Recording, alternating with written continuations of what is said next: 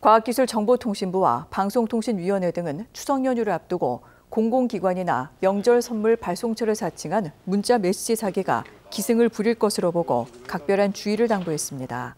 정부가 집계한 2022년부터 올해 상반기까지 문자 사기 현황에 따르면 공공기관 사칭 스미싱이 116만여 건, 청첩장과 부고장 등 지인 사칭형이 27만여 건이었습니다.